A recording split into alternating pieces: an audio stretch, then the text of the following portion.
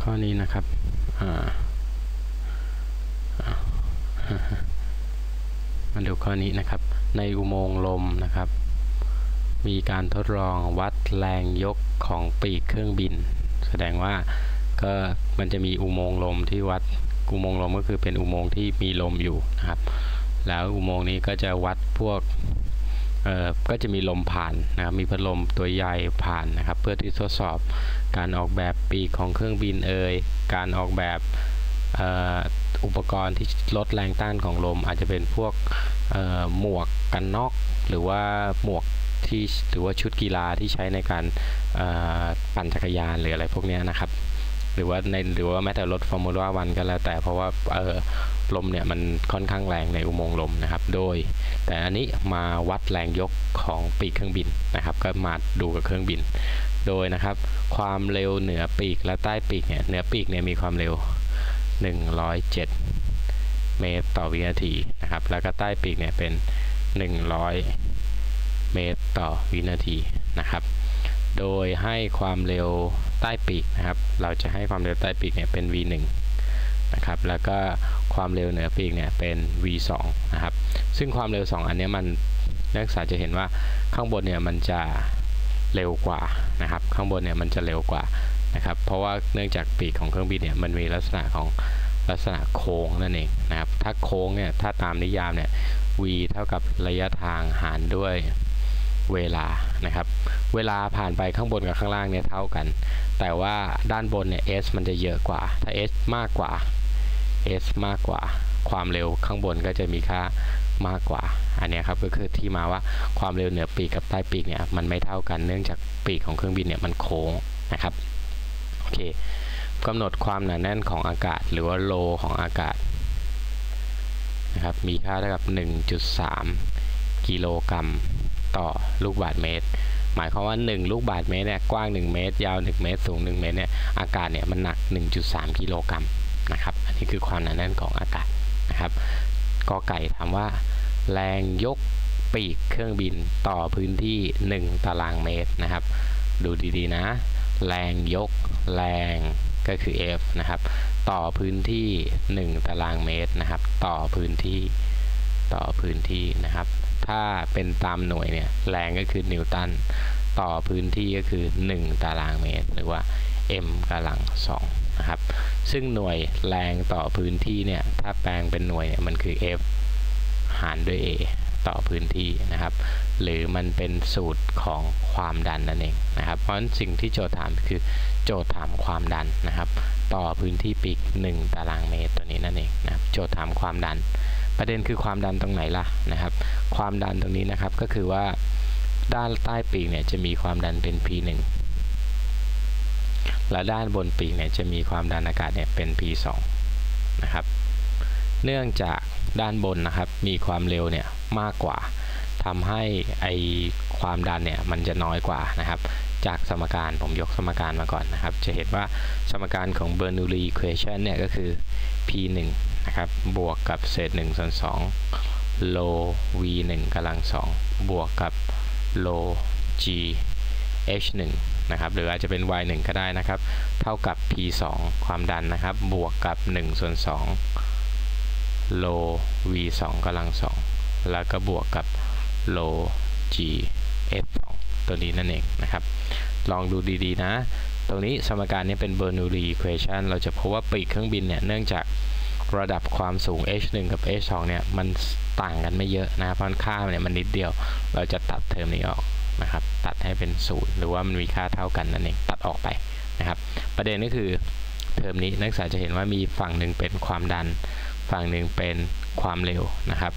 อีกฝั่งหนึ่งก็เป็นความดันของจุดที่ 2 กับความเร็วของจุดที่ 2 นักศึกษาจะพบว่า ถ้าความเร็วมันเพิ่มเนี่ย การที่จะ balance สมการเนี่ย ถ้าเทอมขวาเพิ่ม เทอมซ้ายเนี่ย หรือว่าความดันมันต้องมีค่าลดลงนึกภาพออกไหมครับ ลักษณะนี้นั่นเองนะครับ เพราะฉะนั้นมันก็จะแปรผกผันกันนะครับ ถ้าความเร็วเยอะ ความดันก็จะน้อยนะครับ แต่ถ้าความเร็วน้อย ความดันก็จะเยอะ เพราะฉะนั้นสิ่งที่แตกต่างก็คือ p1 ลบ p2 นั่นเองนะครับ p1 ลบ p2 ไอตัวเนี้ยครับ คือผลต่างของความรันหรือว่าเดลต้า P คือสิ่งที่โจทย์เนี่ยต้องการอยากจะรู้นะครับ แต่โจทย์เนี่ยบอกเป็นเอาบอกเป็นอย่างอื่นเป็นแรงยกต่อพื้นที่ก็คือความดันนะครับ ความดันในที่นี้หมายถึงผลต่างของความดันของ P1 แล้วก็ P2 นะครับ คราวนี้จาก Bernoulli equation เนี่ยเราก็จะจัดสมการให้อยู่ในรูปของ P1 ลบ P2 ก็จะกลายเป็นย้าย P2 จากบวกนะครับ ย้ายมาอีกฝั่งหนึ่ง เป็น P1 ลบ P2 นะครับ ก็จะมีค่าเท่ากับเศษ1ส่วน2โล v 2กำลัง2บวกเศษ2โล v 1กำลัง2ย้ายมาอีกฝั่งหนึ่งเป็นลบ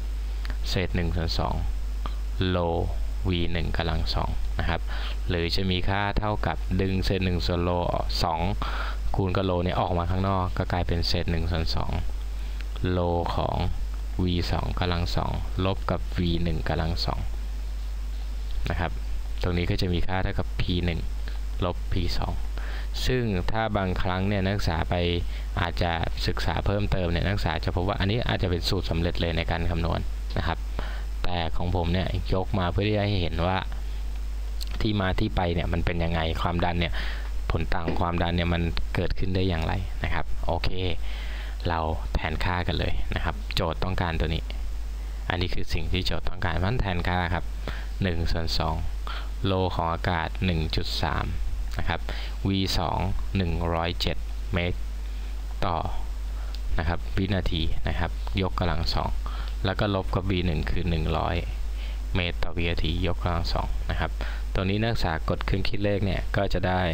ผลต่างของความดันเนี่ยมีค่าเท่ากับ 941.85 นิวตันต่อ ตารางเมตร อันนี้คือเดลต้า P เห็นไหมครับ แรงนิวตันต่อพื้นที่ 1 ตารางเมตร อันนี้เป็นคำตอบในข้อกอไก่นะครับ ได้ delta P มาแล้ว เดี๋ยวเราจะไปใช้ในข้อขอไข่นะครับ ข้อขอไข่ถามว่า ถ้าแรง ถ้าเครื่องบินลำนี้เนี่ยมีมวลนะครับ 1,500 กิโลกรัมหมายความว่านะครับตอนนี้เมื่อกี้เราได้ delta P มา ผมยก delta P มานะ เดี๋ยวจะใช้นะครับก็941.85 นิวตันต่อตารางเมตรนะครับถ้ามาดูต่อข้อขอใครเนี่ย ถ้าต้องการยกเครื่องบินนะครับ เครื่องบินก็เป็นลักษณะนี้ล้วกันนะครับ มีปีกอยู่นะครับ เครื่องบินเนี่ยมีมวลนะครับ มี m เนี่ยเท่ากับร้อย 1,500 กิโลกรัม ตันครึ่งนะครับ หรือว่ามีน้ำหนักเนี่ย mg ดึงลงมาข้างล่างนะครับ จะต้องมีพื้นที่ปีกหรือว่า area เนี่ย a เนี่ยรวม 2 ปีกเลยนะครับ ทั้ง 2 ปีกเลยตัวนี้นะครับ เพราะปีกเนี่ยมันจะเป็นตัวที่ทำให้เครื่องบินเนี่ยลอย มีค่าเท่ากับอย่างน้อยเนี่ยกี่ตารางเมตรนะครับ จึงจะทำให้เครื่องบินเนี่ยมันบินอยู่ได้นะครับ ก็หมายความว่าถ้าเป็นลักษณะนี้เราจะพบว่า การที่เครื่องบินมันจะบินได้เนี่ย มันต้องชนะ หรือว่ามันต้องมีค่ามากกว่าแรง mg หรือว่าอย่างน้อยก็ต้องเท่ากัน อันนี้คือแรงยกของปีกในข้อขอไก่นั่นเองนะครับ แรงยกของปีก ซึ่งเราจะพบว่าถ้ามันจะอยู่ในลักษณะสมดุล เราจะพบว่าแรงยกเนี่ย ก็จะมีค่าเท่ากับ mg นั่นเอง โอเคไหมครับตรงนี้ แต่ถ้าแรงยกเพิ่มขึ้นนะครับ หรือว่าเครื่องบินเนี่ยมันบินไวขึ้น แรงยกก็จะมากขึ้น ถ้ามากกว่า mg เครื่องบินก็จะลอยขึ้น ข้างบนนะครับ อันนี้เป็นภาพคร่าวๆ ประเด็นคือจะหาพื้นที่เนี่ยได้อย่างไร ก็ต้องกลับไปดูที่นิยามของความดันหรือว่าตัว p เนี่ยจะมีค่าเท่ากับแรงหารด้วยพื้นที่นะครับ a ตัวนี้คือพื้นที่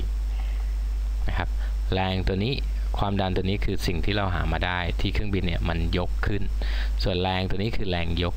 F ตัวนี้คือแรงยก เพราะฉะนั้นก็แรงยกเนี่ยก็จะมีค่าเท่ากับ mg ของเครื่องบินนั่นเอง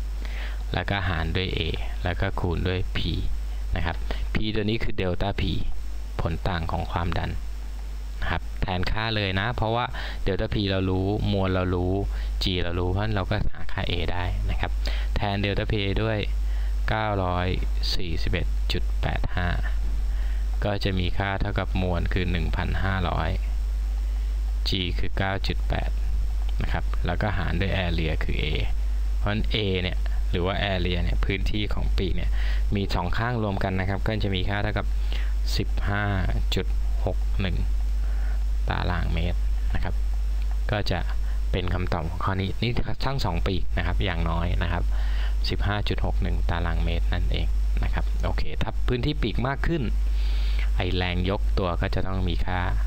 มากขึ้นนั่นเองนะครับ ถ้าพื้นที่ปีกมากขึ้นนะครับทำให้แรงยกของเครื่องบินก็จะมีค่ามากขึ้นนะครับ โอเคครับข้อนี้ก็จะมีแค่นี้นะครับ ประเด็นก็คือหัวใจของข้อนี้คือตรงไหนนะครับ ก็คือในเรื่องของนักศึกษาต้องเช็คกลับมาเป็นสมการเนี่ยให้ได้นะครับ มาจาก Bernoulli equation นะครับ แล้วก็เช็คว่าเออผลต่างของความดันนะครับ มันจะมีค่าเท่ากับ เซนสองโล v 2กำลังสองลบ v 1กำลังสองนะครับ แล้วก็ตรงนี้ก็เป็นอีกจุดหนึ่งก็คือแรงยกของปีกต่อพื้นที่ มันคือความดัน หรือว่ามันคือเดลต้า p นั่นเองนะครับ อันนี้ก็ลักษณะนี้นั่นเองข้อนี้ก็จะมีแค่นี้นะครับ ก็ขอให้สันโชคดีนะครับ ขอบคุณมากนะครับ